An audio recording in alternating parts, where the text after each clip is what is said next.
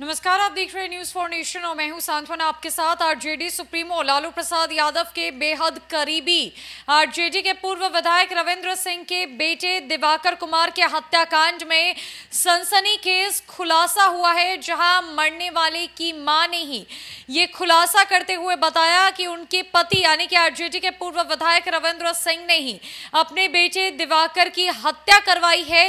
इतना ही नहीं, दिवाकर की माँ ने बताया कि उसके बेटे ने अपने ही पिता के खिलाफ अरवल विधानसभा सीट से चुनाव भी लड़ा था और ये एक पारिवारिक रंजिश के तहत हुआ है जहाँ इस घटना को अंजाम दिया गया है। आपको बता दें कि शुक्रवार की देर शाम अरवल औरंगाबाद सीना क्षेत्र में सोन तटीय इलाके पर रविंद्र कुमार के बेटे दिवाकर कुमार की हत्या कर दी जाती है, जहाँ बेखौफ अपराधियों के द्वारा उस पर ताबड़तोड़ गोलियाँ चलाई जाती है। दोनों ही जिलों की पुलिस के द्वारा तफ्तीश लगातार जारी है, लेकिन मरने वाले दिवाकर कुमार की माँ उषा शरण के इस बड़े खुलासे के बाद इस पूरे मामले में एक बड़ा मोड़ आ गया है। दरअसल जानकारी के मुताबिक दाऊदनगर थाना क्षेत्र के हिचचन बिघा गाँव में कुमार गौरव अपनी बोरिंग पर फ़सल में पटवन करवा रहे थे। शुक्रवार की देर रात तीन अपराधी यहाँ पहुँचे और उनसे बातचीत की। परिचय होने के बाद गौरव को बुलाकर कुछ दूरी पर ले गए और उसे गोली मार दी। जांग में गोली मारने के बाद सीने में तीन गोली मारी गई।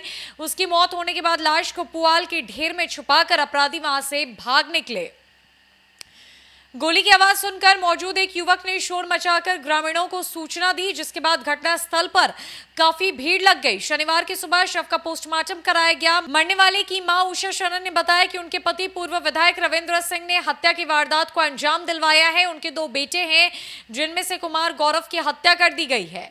ग्रामीणों ने बताया कि शुक्रवार की देर रात कुमार गौरव खेत में पटवन कर रहे थे। इसी दौरान पहुँचे अपराधियों ने गोली मारकर उनकी हत्या कर दी। कुमार गौरव पूर्व में अरवल विधानसभा विधानसभा से चुनाव लड़ चुके हैं।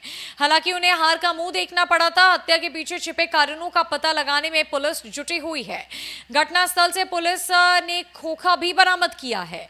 अरवल के पूर्व विधायक रविंद्र सिंह के पुत्र कुमार गौरव की हत्या से दहशत का माहौल बन गया है। स्थानीय लोगों ने इस घटना पर गहरा आक्रोश जताया है। पुलिस की सुरक्षा व्यवस्था पर भी सवाल उठाए गए हैं। लोगों ने कहा कि कुमार गौरव का किसी से कोई विवाद नहीं था।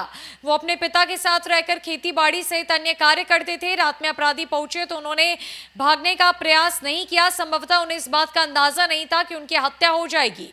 अपराधियों ने उनसे बात की और थोड़ी दूर ले जाकर उन्हें गोली मार दी। बहरहाल जिस गाँव में घटना को अंजाम दिया गया है, उसी गाँव में राजद सुप्रीमो लालू प्रसाद की बेटी रोहिणी आचार्य का ससुराल है। पूर्व विधायक रविंद्र सिंह लालू यादव के करीबी माने जाते हैं। लालू परिवार में पैच होने के कारण उन्हें दो बार अरवल से एक टिकट मिला, जिस पर दोनों ही बार उन्होंने जीत दर्ज की।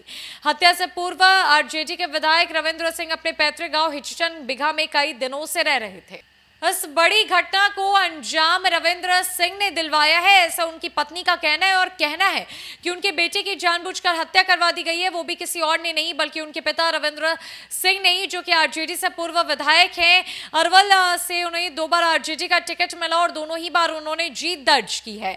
ऐसे में इस पूरे मामले में क्या बड़ा खुलासा होता है और कौन सी बातें निकलकर सामने आती है इस बड़े मोड़ के बाद?